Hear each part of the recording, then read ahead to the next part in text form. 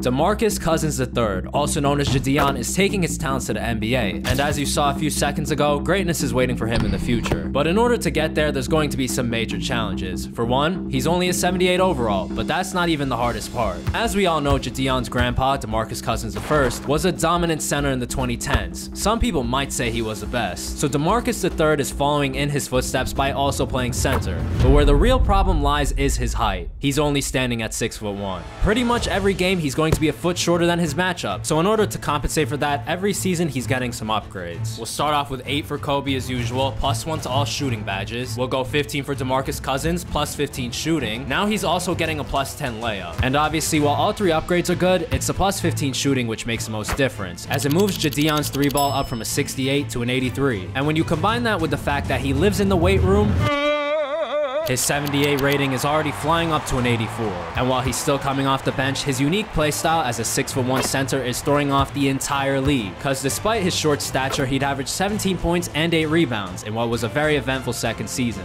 And to top it all off, he gets to take home a trophy. He almost averaged a double-double off the bench, that's kind of insane. And at this point, when you think of up-and-coming NBA stars, you think of DeMarcus Cousins III. He has a really good shot to one day win a championship, something that eluded his grandfather during his time in the NBA. And the first step towards that goal starts in Oklahoma City. It's officially DeMarcus's first playoff run. His lack of height is going to be put to the test. JiDion's 6'1", but Chet's 7'1". So obviously it's going to be a tough matchup, as DeMarcus is giving up a foot of height. But he's ready for the moment, and he dominates Chet down low. He really had no answers for him, but at the same time, his teammates would struggle. And that cycle would continue for the entire series, as while JiDion's having no problems, his teammates would consistently let him down. JiDion at the line, JiDion probably gonna make the free throw. It's not gonna be his fault, but it looks like Houston's gonna be sent home. And that's exactly what happened. They would fight hard for six games, but ultimately, OKC has way too much firepower. But this is just a start for DeMarcus Cousins III. So now we're back at the upgrades, but this time he's getting two. And the reason he's getting two instead of three this time is that every single upgrade on here is even better than the ones on the last. So we'll start off with number two. And now he's getting a plus 10 interior defense, which is really important. And then we'll go with number eight, plus 50 to his dunk. And it's safe to say at a 37 rating, dunking was his weak point, but the plus 50 brings it up to an 87. It's also becoming increasingly clear that every offseason he'll do anything to improve his game. This time he's trying out some yoga giving him the chance to form a dynamic duo with Jalen Green, who's the highest rated player on the team. He's now heading to Minnesota for his first playoff run and first as a full-time starter. But this time, he's going to have to put his personal friendships aside. The Timberwolves might get smoked because they're like the 7th seed, but that's still going to be a good matchup. It's now a friendly rivalry between two players with absurdly long names, Karl Anthony Towns and DeMarcus Cousins III. And both players would go bucket for bucket for the entire series, but as time went on, it would show that DeMarcus had the slight upper hand. At the end of the day, he's the second seed and Cat's a 7. And if the Rockets could hold the lead for 40 more seconds, they can walk away with a sweep. Houston has a two-point lead, 40 seconds left. I'm assuming, yep, they throw it down to DeMarcus being guarded by not Karl Anthony Towns. The pass, the assist. Cat is on the floor, but they switch somebody else on him. DeMarcus with the defense on Anthony Edwards in the paint. He can't move him. That's fantastic defense. Doesn't get the rebound. They kick it out. No way he's hitting that. Stop it. And now Houston has to hit some clutch free throws. Houston has to go to the line. DeMarcus in position for the rebound. Doesn't matter. And now with a three-point lead, the Rockets are one stop away from winning this one. They don't throw it to Cat.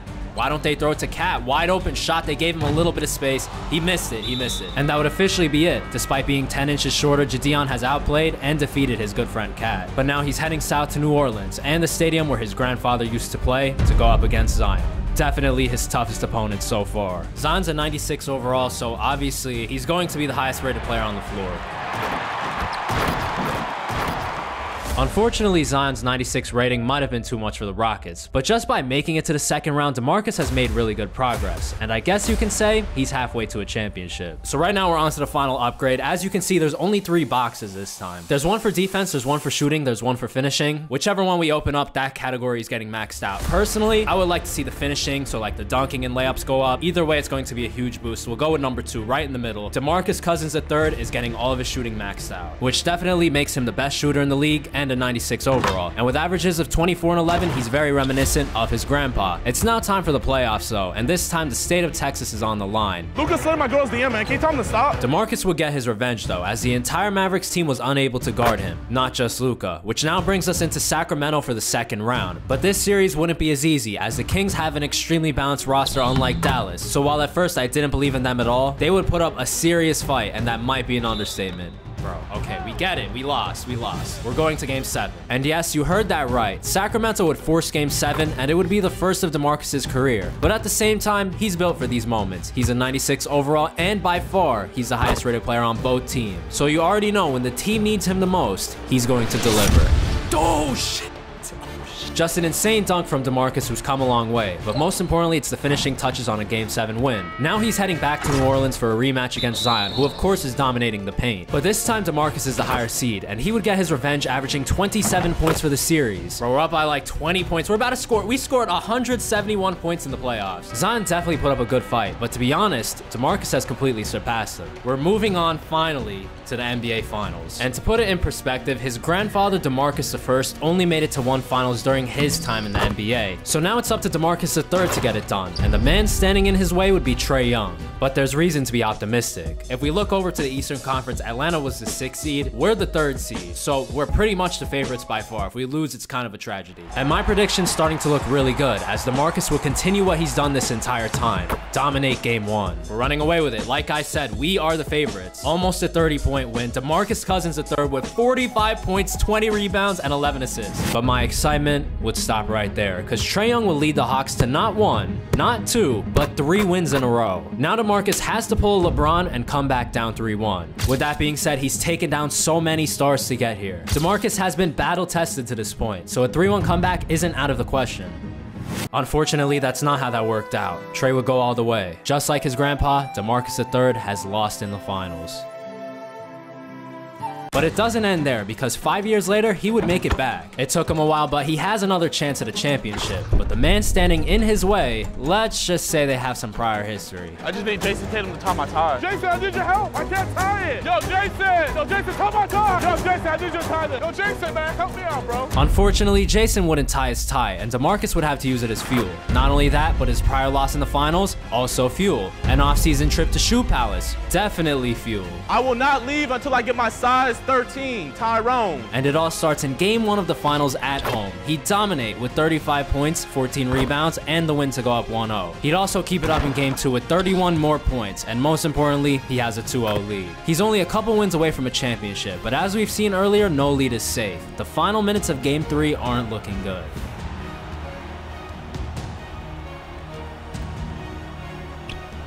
Oh my god, we got it back, we got it back, we got it back. Go, go, go, go, go. Three, three, shoot the three, shoot the three, shoot the three, shoot the three, please. We need it. We made it. He made it. He made it. He made it. He made it. One point game, 30 seconds left. And they send Tatum to the line.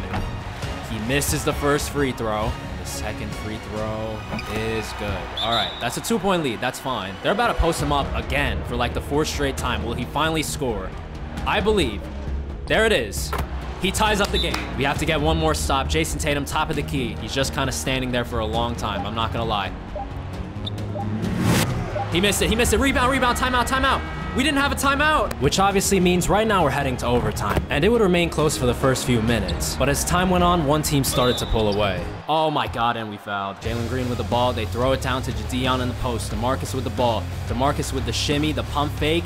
Kind of makes some space, kind of, not really. And right now, Houston desperately needs a stop and they're not going to get it. They throw it down to DeMarcus again for a second straight time. DeMarcus with the shimmy. DeMarcus trying to bully his way. He gets blocked. Oh my God, bro. This whole six foot one center thing, yeah, it's not really working out right now.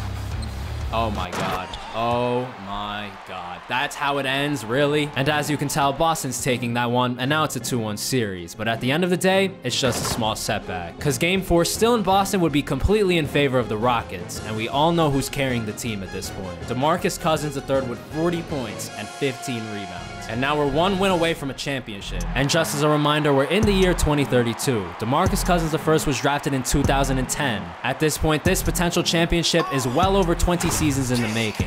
And there's no way he's stopping right now.